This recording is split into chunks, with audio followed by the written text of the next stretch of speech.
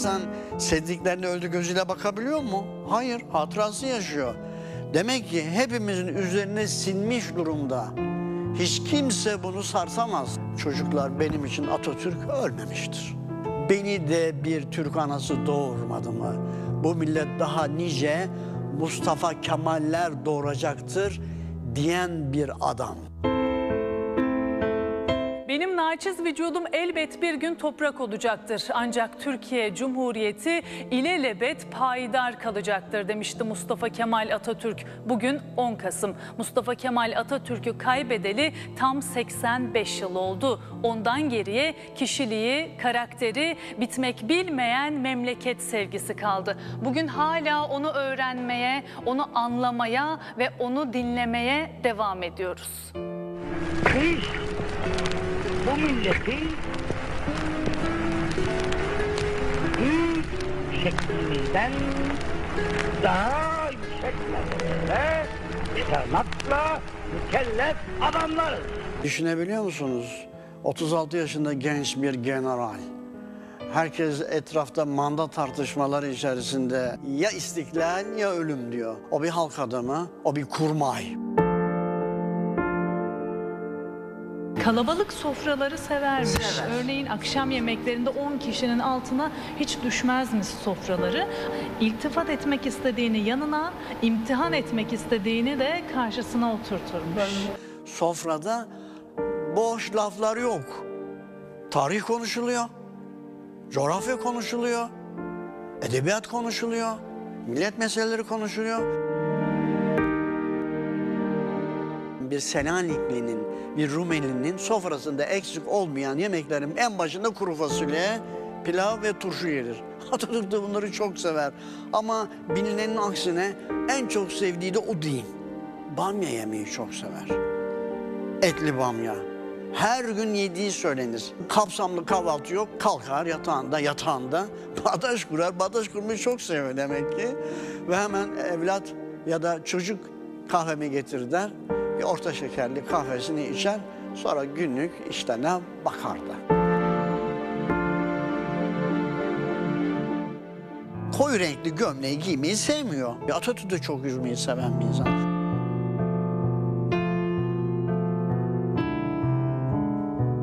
Mustafa Kemal Atatürk aynı zamanda sevdiği insanlara çelebi, yanlış iş yapanlara da şaşarım aklı perişana dermiş. Aklı perişan demek sen perişan bir akılla hareket ediyorsun. Sağa sola yapalıyorsun. Düşün öyle konuş. Atatürk bir düşün insanı. Düşünmeden hiçbir adımı yok. Verdiği karardan dönmeyen bir insan.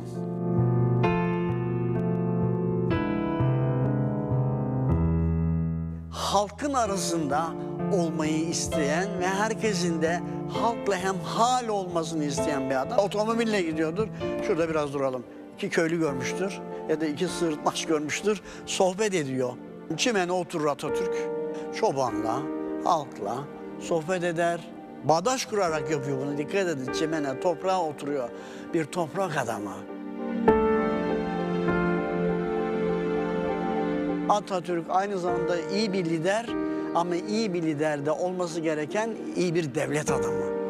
Protokolü de çok iyi biliyor. Hazırlık yapmadan asla hiçbir şekilde de bir fikir yürütmüyor. Onların diliyle cevap veriyor. Ya Fransızca Fransız, ya İngilizce ya Almanca. İyi de bir izlenim. Türkiye'yi de temsil açısından güzel Elbette, bir e, itibar.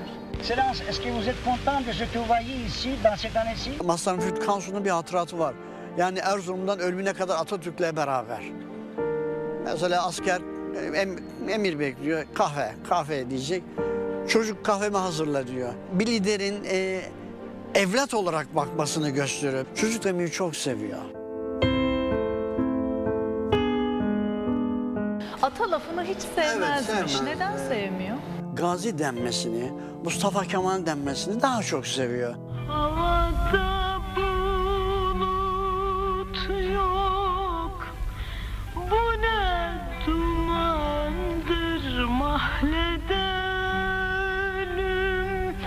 yok.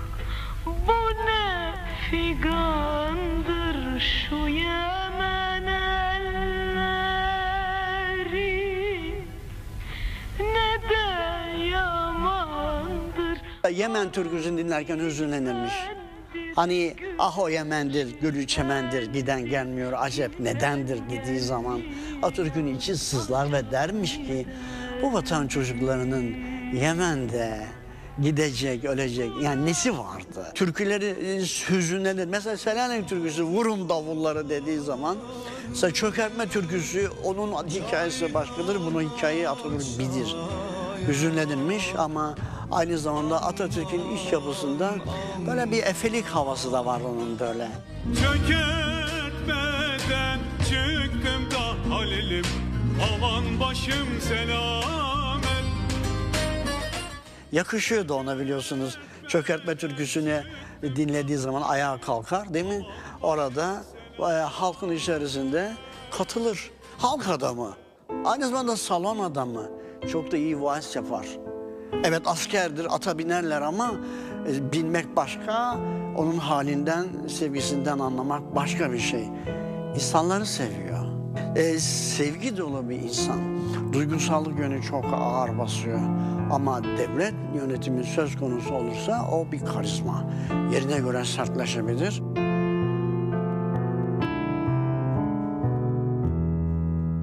Selanik, Selanik, Selanik neden?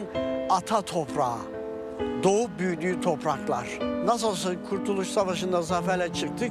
Yani ordulara yürüyün diyebilirdi. Tekrar bir savaş istemedi. Atatürk gerçekçi bir liderdi.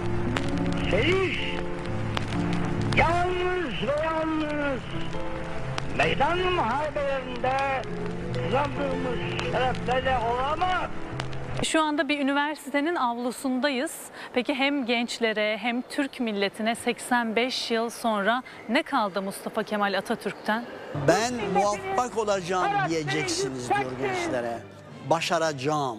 Böyle bir adamın önünde Ordular duramadı. Türk milleti zekidir.